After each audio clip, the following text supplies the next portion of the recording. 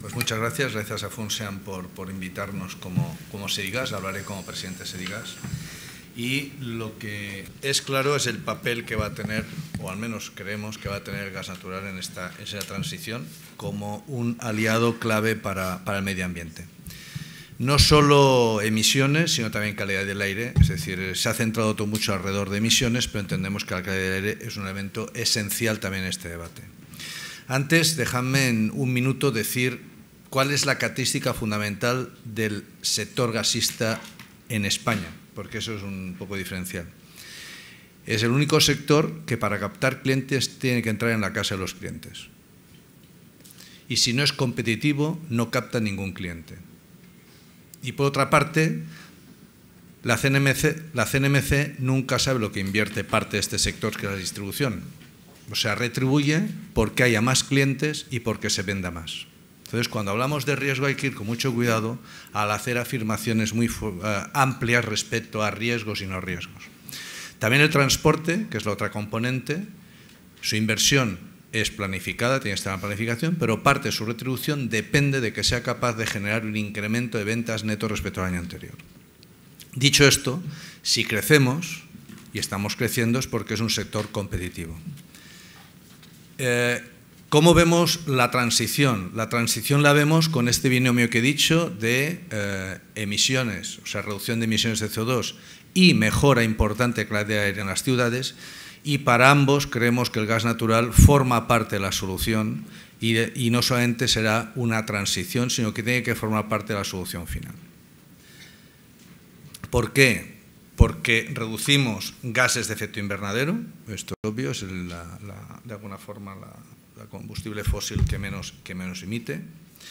El binomio gas renovable es el que permite, de alguna forma, cubrir con flexibilidad y con mínimas emisiones la eh, dificultad de definir la disponibilidad de las renovables, como todos sabemos. Es una tecnología que tiene un coste asumible y es una tecnología que ya está, es decir, parte de lo que, de lo que os voy a decir, aún tenemos un recorrido de investigación, pero hoy por hoy la tecnología gas no depende de desarrollos de futuro, ni de que la curva aprendizaje, ni que realmente se den las hipótesis que se están considerando en cuanto a evolución tecnológica. Y por último, y se ha mostrado ya estos últimos años, al menos en España, nuestro nivel de seguridad de suministro es altísimo. Es decir, yo creo que en estos momentos, si alguien de vosotros preguntara cuándo se quedó sin gas, excepto que se haya estropeado su, aparato, sería bastante difícil que os acordarais. Formamos parte, entendemos, de ese camino a la transición para que sea una realidad, pero insisto en que creemos, y, y con las tecnologías que estamos desarrollando, formaremos parte de la solución futura y por lo tanto sí que creemos que el gas natural tiene un papel importante, no solo en estos años de transición, sino también en el modelo eh, definitivo que tengamos que tener. Si ponemos los planes que ha ido desarrollando Europa, y probablemente el, segundo no está actualizado respecto al 35% y lo que al final quede, pero yo lo que quería destacar es primero, el del triple 20 estamos a, puertas del 2020, en el triple 20 se daban tres características, emisiones, reducción de emisiones, eh, incremento, participación de renovables y eficiencia. Y todos los planes de Europa, a diferencia, como ya os he dicho a lo largo de, estas jornadas, los planes de Europa eh, incorporan el concepto renovables como un elemento eh, de restricción o de inducción, o como vamos a decir, y que hemos de tener todos en cuenta.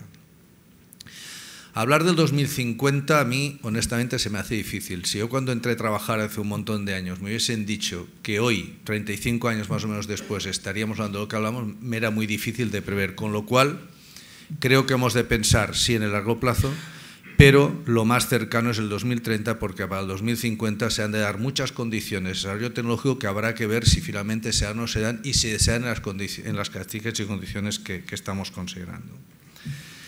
El gas natural entendemos que tiene un papel en la economía baja en carbono por las menos emisiones y por la eficiencia que aporta. Hay proyectos de I+.D., me referiré más adelante en uno importante. La eficiencia energética, los nuevos aparatos de gas natural aportan un incremento en la eficiencia eh, relevante, tanto sustituyendo aparatos existentes de gas natural como sustituyendo otras energías y lo que es seguridad energética y, mercado interno de la energía en Europa, pues probablemente tenemos, al menos en España, un nivel de interconexión que podría ser mayor y esperemos que sea mayor, pero es bastante más alto que el nivel de interconexión que tenemos con, la electricidad. Mm, voy a pasar rápido respecto a los temas de eficiencia, pues son conocidos, es decir, el gas emite menos que el gasóleo, emite menos que el carbón. El gas es más eficiente, sustituir una caldera de gasóleo por una de gas natural, ganas en eficiencia de una forma sustancial y de alguna forma lo que sí que el gas es imbatible es en la parte de eh, productos eh, o elementos contaminantes, es decir, partículas y óxidos. Compitamos contra la energía que compitamos, incluyendo la biomasa, y aquí hago una reflexión sobre si tiene sentido poner biomasa en colegios y hospitales, como se está haciendo en estos momentos en España, porque es, eh, el gas es el que menos emite y el que menos emite partículas y el que menos emite óxidos. Por lo tanto, en cualquier estrategia de calidad del aire, el gas forma parte de esencial, es un vector esencial para, para las estrategias de, de, calidad del aire. Y quería, de alguna forma, hacer énfasis en, en dos puntos.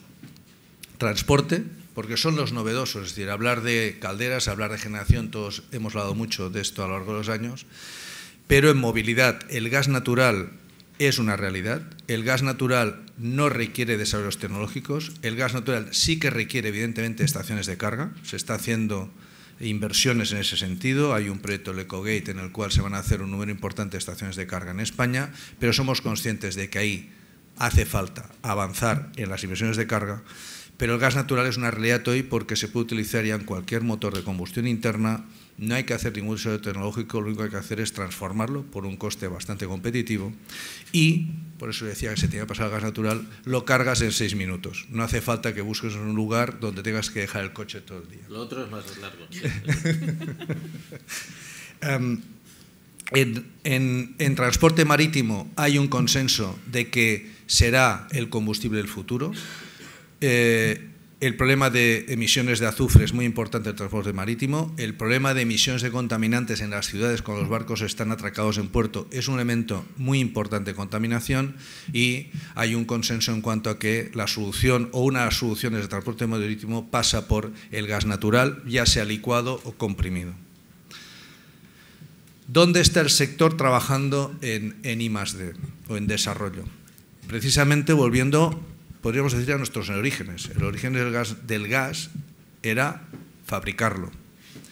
Y de alguna forma ahora lo que vislumbramos como parte de la solución futura es volver a la producción de gas, no de la forma como lo hacíamos en los años 60, 70 o hasta finales del siglo pasado, sino bajo un esquema de economía circular. Es decir, aprovechando residuos, aprovechando excedentes de energía eléctrica, si resulta que conseguimos bajar los costes que hoy representa la hidrólisis para hacer el hidrógeno, y de esa forma colaborar y participar en la descarbonización mediante la inyección de gases renovables que provienen fundamentalmente de residuos y, como digo, de excedentes de energía eléctrica. En España tenemos en estos momentos un potencial de gas renovable de 2 BCM. Esto supera lo que es la, demanda de las ciudades más importantes de España. Es decir, queremos y somos capaces de desarrollar esa tecnología y no es fácil, pero en eso estamos. Podemos empezar ya a utilizar el gas, el gas renovable como una fuente de energía adicional y entendemos que ese es un elemento clave porque también permite aprovechar las inversiones importantes que hay no solo en España, sino en toda Europa, de redes de distribución de gas que están en todas las ciudades, llegan a la mayor parte de las viviendas y por lo tanto podemos considerar que el gas natural, por eso decía que es parte de la solución, cuando utilizamos gases renovables y por lo tanto no emiten eh, CO2 a la atmósfera y permiten cumplir con o permitirán cumplir con los objetivos que nos plantea la Unión Europea. Como os decía, eh, la infraestructura básica en nuestro país está, no quiero decir que no falte algo, pero básicamente está toda.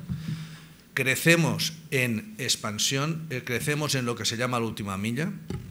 Es un crecimiento que tiene un impacto neutro para lo que es el, el, ciudadano, porque el riesgo lo corre la compañía y si no es capaz de generar la demanda no tiene ese ingreso.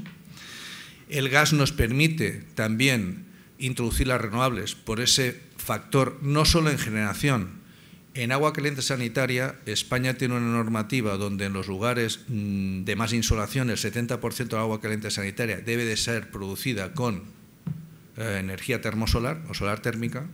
El complemento ideal para la solar térmica de menos emisiones es calderas de gas natural. Y de alguna forma eh, entendemos que la sustitución de tecnologías más contaminantes y más emisoras es el camino que se tiene que seguir y en ese el gas natural no es la única solución, pero sí que es una solución importante. ¿Qué medidas eh, creemos que hay que desarrollar? Es obvio que una actividad regulada lo que requiere, y se ha hablado eh, a lo largo de esta, mañana, de la predecibilidad, es un elemento fundamental cuando hay que abordar inversiones, pero también es cierto que cuando estamos hablando de clima y estamos hablando de calidad del aire, hacen falta también señales que lleven a que se tomen decisiones para utilizar las tecnologías menos emisoras y menos contaminantes. Y en ese sentido, lo que sí que queremos es que hacer más énfasis en el cumplimiento de la normativa de calidad del aire en las ciudades. Sí que creemos que desde el punto de vista de eh, emisiones potenciar las tecnologías de menos emisión y tanto en generación, en consumo convencional, en movilidad.